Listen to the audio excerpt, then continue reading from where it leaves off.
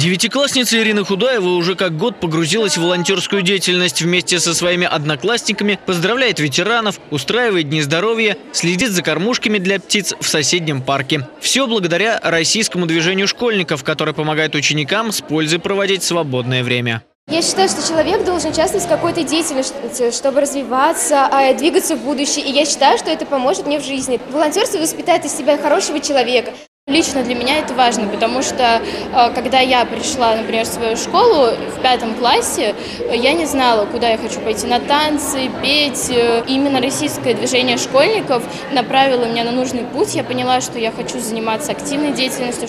Российское движение школьников создано по указу президента России Владимира Путина в 2015 году. Сейчас в нем участвует более 4000 самарских школьников. Они вместе с педагогами создают военно-патриотические, медийные, экологические, гражданские проекты. Принять участие в движении может каждый школьник. Для этого нужно обратиться к завучу по воспитательной части, либо в местное отделение организации. Региональные координаторы движения говорят, волонтерство для каждого школьника может стать трамплином в будущее. Школьники будут собирать творческое портфолио, которое поможет поступить в университеты, выигрывать гранты на разные проекты.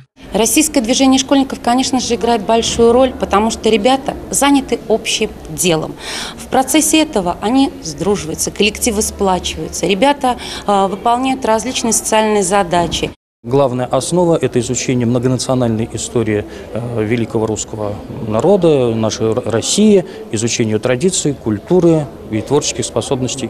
В следующем году региональное отделение движения уделит особое внимание 75-летию Победы. К этой дате школьники и педагоги уже подготовили несколько акций. Сергей Кизоркин, Семен Безгинов, Максим Гусев. События.